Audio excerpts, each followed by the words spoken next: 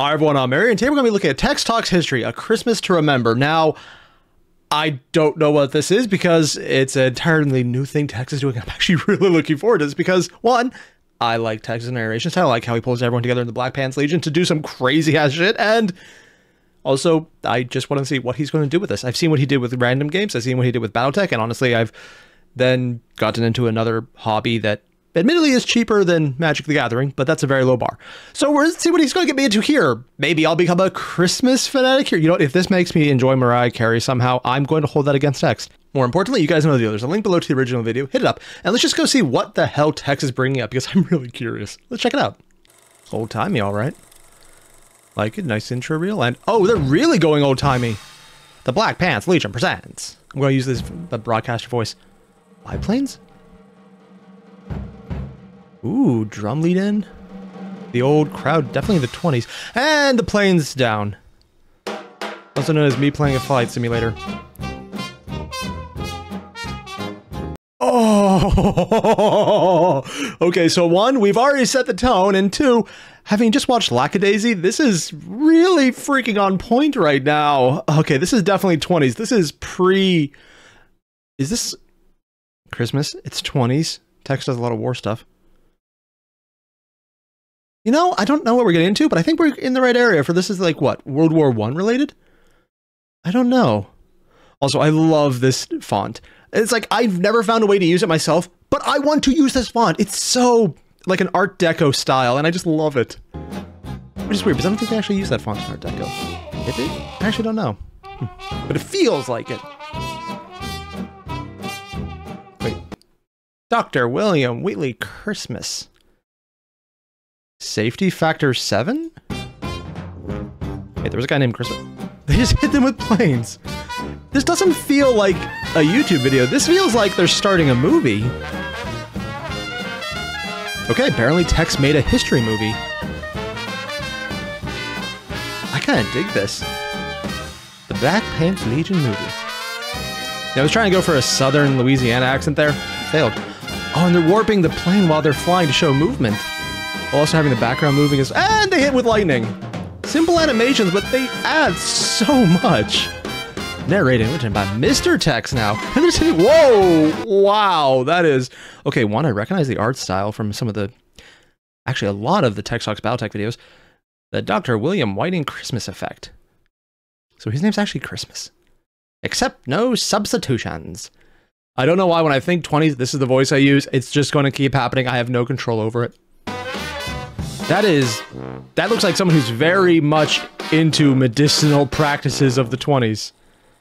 oh my Howdy, god. folks, and welcome to Tex Talks History, a series which I hope will serve to entertain and inform while maintaining some semblance of actual historical professionalism.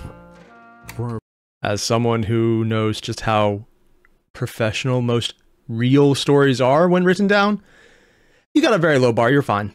very first topic, A Christmas to Remember. To give this story context, we must begin at the turn of the 20th Whoa. century, when some Oh yeah, these were basically kites that had a fan in the front. Uh, Santos Dumont 14 bis. I've seen pictures of these and usually of them crashing when they have video of it. It- Like they seem to crash in midair and then they land in that order. some very bold pioneers combined the fun of handmade engines with Oh God, that one. of handmade Wait, this is the Phillips multiplane that actually had a name? You know, it's basically a radiator design now that I think about it. Would suck as a plane, but it's basically a radiator, yeah. gliders to finally determine once and for The all Vampire. what actually flew. glider. Actually, that might work. just Nope. exploded in the process. Right. Oh, that worked right up until it did it did someone's house. Oh my god. Not within a thousand years will man ever fly. Obviously. It was way, way, way faster. Wilbur Wright, 1901. that was one of the Wright brothers? Wow, also, this is a picture of Wilbur Wright? I'm assuming it's a picture of Wilbur Wright. Holy shit, I don't... You know, now that I think about it, I've always seen their plane. I've never seen them. Huh. Preamble. Eight days before Christmas, 1903, The Wright brothers made That's history. Wilbur and Orville. Wow. After much experimentation, frustration, and failure, Orville and Wilbur Kitty Hawk, Wright's yeah. success at Kitty Hawk proved that practically anybody could make a plane. Yep. Even two brothers from Ohio whose entire engineering experience up to that point was more or less bicycles. Before that day, they were crazy small business owners with grand ideas. After Okay, little context here. This right now, what Tex is covering is super nostalgic for me because my dad is an aircraft mechanic, just recently retired because, you know, why not? And more importantly, all of this is what I grew up on. All of the crazy little details about how things happen, the bicycle mechanic aspect, coming from Ohio, going to North Carolina, going to Kitty Hawk. This is one of those places I kind of want to go just because this is where aviation started. So I basically grew up with a guy who geeked out over planes and had an unfortunate habit of going into aircraft museums and trying to get into the planes that were on display, even if they were roped off and maybe not entirely safe to do so, because some of them he actually worked on. I'm thinking of a specific one in Ohio. I'm surprised no one in security stopped him from getting into that plane. Yeah. But more importantly, this right now is just massive nostalgia. oh my day, god. The Wright brothers were world famous and thus historically significant. The history of early aviation was cemented as a place where, even from humble beginnings, That's basically glider, great but not a things bad were one. indeed possible if you were bold, brave, or just crazy enough to see things through. As such, the world quickly noticed and celebrated a handful of amateurs who had succeeded where many other respected institutions and noted individuals had not. Many of the smartest engineers of that Whoa. time had given up after their own failures. Oh, it's definitely based on the bat with how the wings are spread out. Nice. Someone took a lot of study on that. declaring the Definitely want to work. beyond their means or practically impossible. Sir Hiram Stevens Maxim was one of them. Who? Yes, Maxim Gun Maxim. Oh, Yes, that Hiram Maxim. Yes, he too had tried to make a flying machine, and as you'd expect, it's straight out of Arcanum. Keep in mind, Maxim was is that a? Honestly, I thought that was a parachute. That was just really weird at first, but no, that's the. Oh, that is weird. born 11 years before Melville wrote Moby Dick. Oh wow. So his lens of the world would be, to us, very strange. And limited as that lens was, he Big made fan. up for it by being, well, Maxim. For instance, he opted not to use gasoline because it was frankly too new for the man. And back then, gasoline was seen as a dangerous, if Gasoline plant at Pittsburgh, 1915. See, here's the thing. I know where that's at. That's Pittsburgh, Pennsylvania. There's an H at the end of that. Also, because there, Pittsburgh without an H is actually a town in California. I know. It's weird. There's more than one. Useless waste byproduct of petrochemical It wasn't until 19, or 1892 that gasoline was understood to be valuable fuel. Until then, it was discarded, sometimes straight into rivers. Okay, so literally nothing is different now. Because people still do that. It's annoying. Yeah, I know. It, well, mostly it's just runoff and extra, but people still do that. It, it's disturbing. It's why you actually need filtration. You don't actually drink straight from a river. Distillation process. One of the many reasons, actually. They used to just dump or pour gasoline wherever they could, or burned it off as quickly as they made it. Maxim instead was of the old school, Whoa. which means he was a fanatic steam enthusiast like all enterprising gentlemen of the period. So he decided his flying machine would be powered by twin naphtha-fired steam engines rated at 360 horsepower. I mean, that would work if you had a way faster engine. But for the materials he was using, those things were freaking light, man. That thing would just weigh it down. Oh, and that's probably why it didn't work. Looks really impressive and honestly would probably go well in a car. Because that's And I think they did have steam-powered cars at the time, too. Problems. Mind you, this is in contrast to the Wright brothers' own successful aircraft engine, which developed 12 horsepower. It also weighed under 200 pounds. Maxim's did not. Maxim was Oh, that's the engine back there? Dear God. I mean, later on, an engine that powerful might work in a bigger plane. Also, those are propellers. Or are they impellers? I can't tell if they're before or after him. I honestly don't know. perhaps excessive, but his aircraft design was significantly heavier than air and most cars of the time. And as Okay, they didn't have cars back go, then, okay. Revolutionary, but far too heavy for something that should But it does look like it would work if power. more For powerful. steam fans out there, it is of note that they could raise available steam pressure from 100 to 200 pounds per square inch Oh. in a single minute. Maxim being Maxim, when the batshit thing didn't fly right, he instead engineered what was called a captive flying machine. Flying machines will therefore be employed. Sorry, uh, let me get that voice right. Will all be employed by the rich and highly civilized nations. Small nations and half civilized tribes will still have to content themselves with their present mode of warfare. Hiram Maxim, 1891. I mean, technically, that is accurate. That is what happened. Nations that can't afford air forces don't. Granted, they usually just buy from nations that could afford to sell air forces such as a few that were trying to be purchased out by Tex, and they failed because someone else bought it first. This is why you need to go on Tex's Patreon, so that next time an Air Force is for sale, the Black Pants Legion can literally buy one because that was an actual thing that happened. Oh, sorry, I just love the fact that it was actually a thing. Someone actually was selling an Air Force. I think it was Albania. Yeah. Yeah, Maxim was pretty damn prolific. Yes, the guy who invented these goofy rides for theme parks also invented the modern belt-fed machine gun. And Wait, he invented the ride? Oh, the captive flying machine, okay. Edison. Yes, I'd love to do a profile on him sometime. How come you have I it? Oh, because you have a million things rest to do. his life is just as splendidly contrasted by whimsy and madness. Contextual tangent aside, I mean, honestly, the way Tex is describing him is he sounds like everyone portrays Edison as. Uh, Edison was a, uh, to put it in the least derogatory way possible, a goddamn motherfucker. The more you learn about him, the more you realize he was an absolutely horrible person. You look at some of the robber barons, and they're looking at him going like, I appreciate just how dickish you can get. Teach me, master. Unironically, that, well, it would never be said that way, is not entirely inaccurate. Maxim honestly sounds way cooler already, just because I don't know nearly enough bad shit about him, so I'm already want to know more. i after many notable and incredibly expensive failures, the Wright brothers seemingly proved that aviation was a business which favored small, independent startups building practical, if revolutionary, products. Further, the Wright brothers' success story suggested Oh, homecoming reception for the White Br- White brothers. Wow, Wright brothers in Dayton, Ohio, and that's probably why the air. I think it's the Air Force Museum actually that is in Dayton. Yeah. Huh. Wow. Also, I didn't realize Dayton had this many people at this time period. I'm a little biased. My family's in Toledo. just about anybody could be a plane tycoon overnight. To prove that point, prior to aircraft as a business, William E. Boeing was a Yale educated lumber entrepreneur.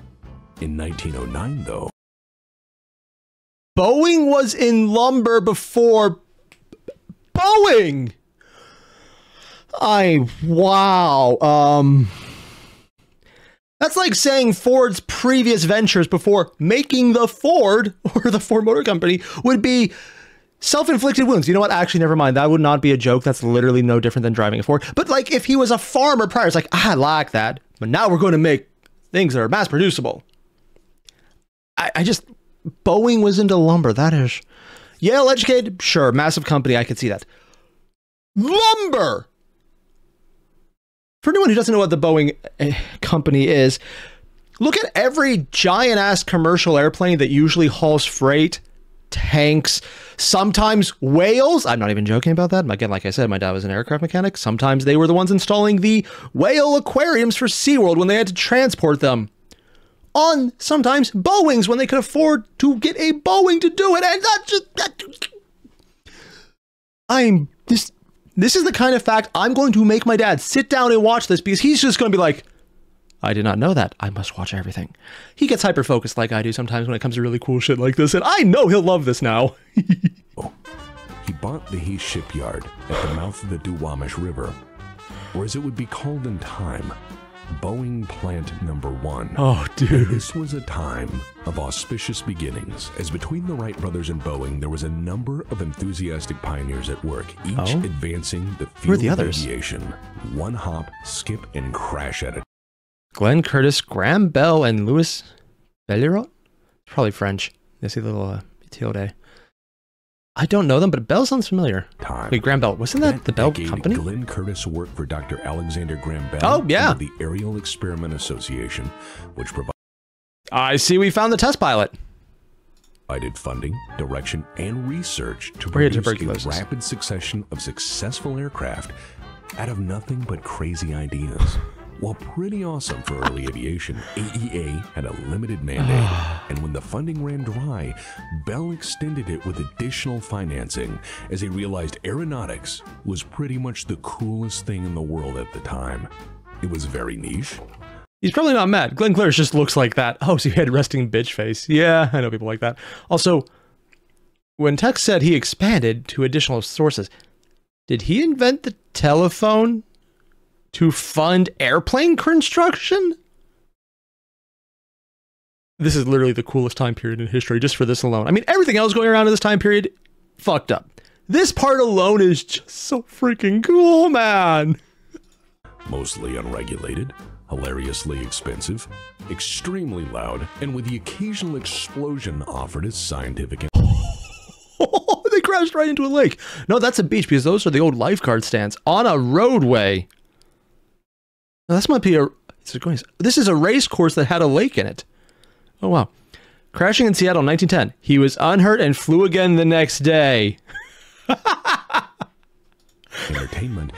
It was a natural field for Dr. Bell to come Oh, Charles Stuart Rolls was not as fortunate. He died on July of the same year in Southbourne, England.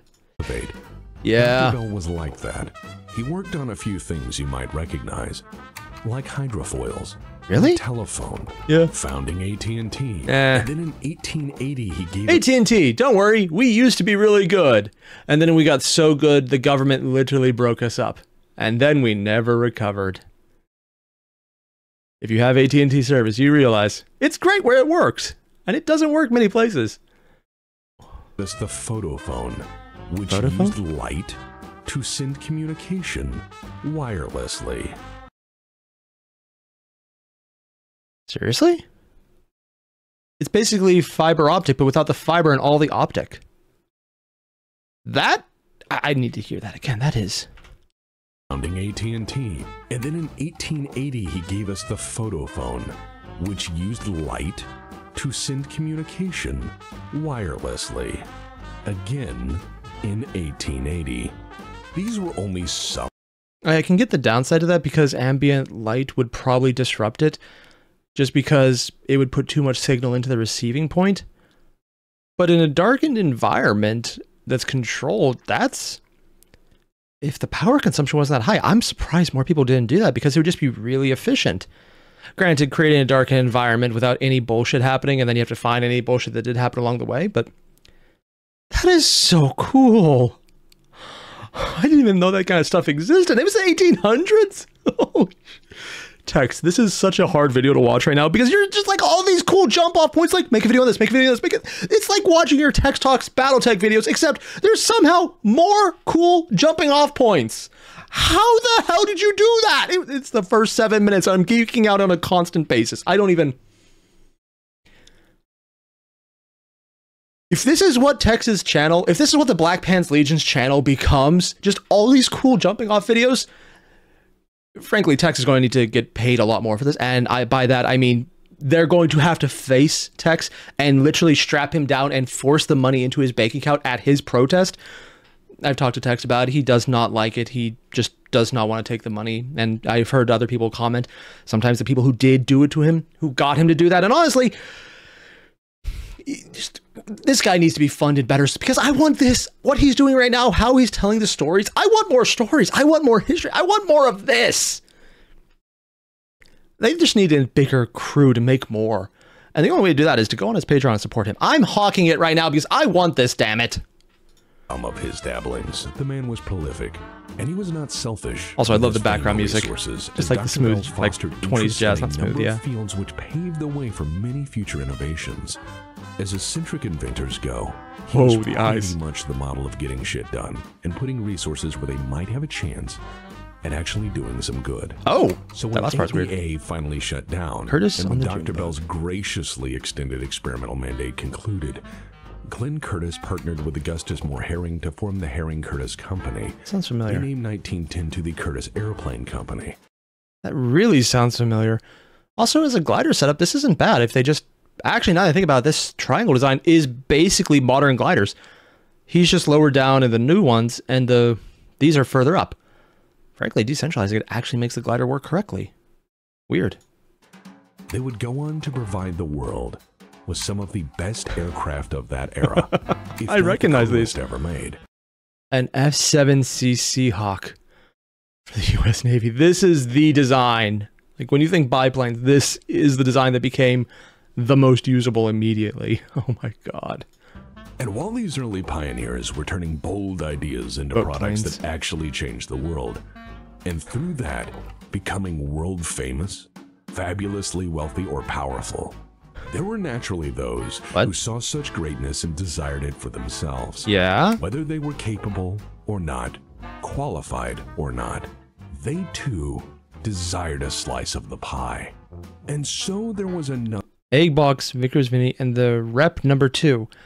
I think I've seen this one before, actually. This one I don't know about, and this one I have never seen before, so I'm assuming it crashed. Oh, there's a wheel on the wing. Oh, that's really low to the ground. Wow. Why is it at the front?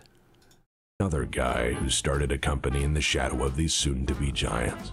He too was a doctor who had fostered an intense interest in aeronautics.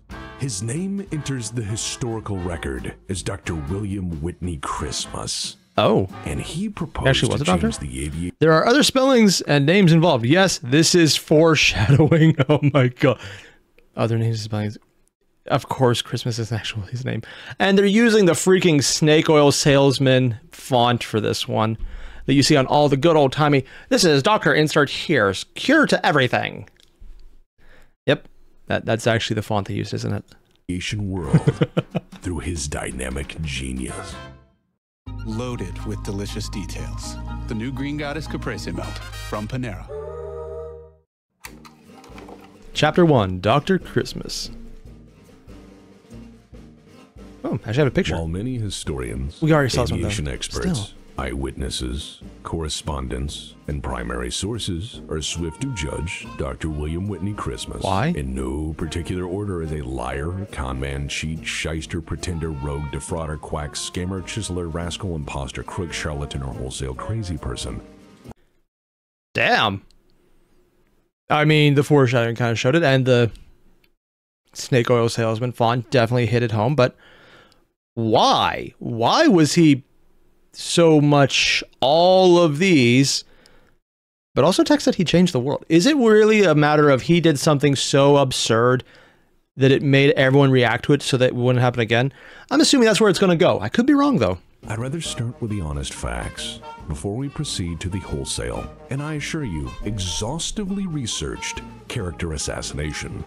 Let us Whoa. begin the Odyssey of Dr. Christmas by stating doctor? the historical record that William Whitney Christmas was, in fact, a very real doctor. Oh, As in, he had proceeded down a course of education, instruction, and certifications bachelor's, challenging study and applicative knowledge. He has a master's. deliberately in succession in order to become a qualified doctor of medicine. Up to this point, Okay, I wasn't expecting to actually be a doctor of medicine. I know he had D or MD, but or DM, whatever. But I was really expecting to be something weird like doctor of finance, doctor of methodology, doctor of acting. I don't even know if they would act that out at this point. Yeah, but just huh. Was not expecting it to actually be real. it is a normal progression of events in sequence to produce a reasonable outcome. Yes, this is called Doctor, realize it's easier to con people in a burgeoning industry profit. Honestly, you don't even need burgeoning industry, just easier to con people in general. foreshadowing. As far as Looking I at you, NFTs. Dr. William Whitney North Carolina. That is his hometown? Oh, that's probably a school, isn't? Not his home, his hometown, not his home. Okay. Christmas was likely born in 1865. Likely born? As far as we can prove, he attended St. John's Military Academy Oh. for his bachelor's degree and the University of Virginia for his master's. Wow. He then graduated from George Washington University in 1905 as a legitimate doctor of medicine. Huh. So, for the record, everything that follows began as a garden variety medical doctor early in his professional years, which I'm sure helped him design aircraft. I mean, honestly, it's not the dumbest thing. It's not the best thing either, but it's not the dumbest thing. But let's not laugh too soon. For those of you finding this idea completely ridiculous, I did ask you to These yearbooks seem to have a lot of faith in their students. Wait, what does it say? laugh too soon. For those of you finding this idea completely ridiculous, I did ask you to keep It says medicine is literally just mirrors tied together with skull and crossbones when it says medicine. Wow, those are yearbooks. That's actually in the yearbook? Oh, and it's also tied together with a knot that's burning. That's not faith in it. That's like saying, oh, you are all going to do horrible, horrible things. It's a good thing medical malpractice isn't something we get sued for. Keep something in mind earlier. We have established that aviation is a business from humble beginnings. Yep. The Wright brothers, prior to their success, made and fixed bicycles. Hiram Maxim was an insane serial hobbyist who occasionally got things near perfect. Yep. Boeing had been a lumber tycoon. Glenn Curtiss liked motorcycles. All of these Oh, people actually, that one probably- something else. honestly, out of all of them, motorcycles is probably the closest profession just because I think that's actually how Honda got into it. Because they were a motorcycle company that became a plane company. And now they're a car company. Yeah, I know, it's weird. Or was that Toyota? I actually don't know which one. It might have been both. It might very well be both. Still, though, motorcycles, the engine design for what is later used rather than the early ones is very similar, just the spinning reel. And because of how that applies to a propeller, it is very much a thing. Instead of just having a wheel going forward, you have a wheel going across. It's just a difference of vertical to horizontal orientation by comparison to the engine. So it actually makes a lot of sense there. Out of all of them, that's probably the easiest transition. where they found great success in the early years of aviation. So why not a medical doctor? The answer to that question takes us to June of 1914.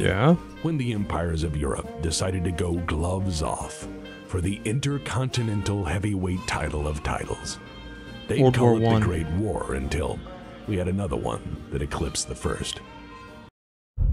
Okay, goddamn Tex. You basically have me bait right here. It's it's flying machines. It's like the creation of the entire industry about how to do aviation. It's all the crazy techniques and inventors getting in on something and failing and making crazy stuff and pulling it together and just starting up crazy things. Am I stuck on the crazy aspect because yes, this is awesome and I want all of this. If Tex just came back and did a bunch of side videos that were short little excerpts of all the people he mentioned, I would love this. That would be an absolute amazing series for me. I'm not sure if anyone else watched it, but I would live watching that thing because that is so freaking cool. And right now, we get someone who's way more colorful, it sounds like. My biggest takeaway is this guy was not a fraud up until he became one somehow during the World War One time. What the hell are we about to get into? I'm kind of this year mostly because I have to adult because in-laws are coming over and I probably might have already missed them arriving and I might be in trouble. But more importantly, also because this is so cool. I'm just might rewatch them. Just so many things. I'm geeking out. I, I need a cooling down time period, and considering they're already probably here, I'm very late. But more importantly, Tex, thank you for making this. this is so cool, man. So if you haven't already, you guys know the deal. There's a link below to the original video. Hit this up. And just let Tex know that this is such a great idea. That if this is how he's going to treat historical events, he's not going with the easy ones. He's going with the obscure charlatan who may or may not still be known outside of the industry. And I want to know why. What the fuck did this guy do? How did he do it? What changed things? I'm assuming he screwed around so hard as something good came of it, or it was so bad that they had to keep it from happening again, which is usually how most of that happens. And I just, I'm excited, man. I'm really excited for this. Again, there's a link below. Hit it up. And if you like this, subscribe. Me, Tex, take your pick. Do it. The Black Pants Legion's awesome. Make sure to subscribe to them if you haven't already. I, okay, I, I definitely am. I just have to double check. There's been a few times I haven't. So yeah, I'm just gonna go um de geek out before family gets here, and I'll see you guys later. Adios.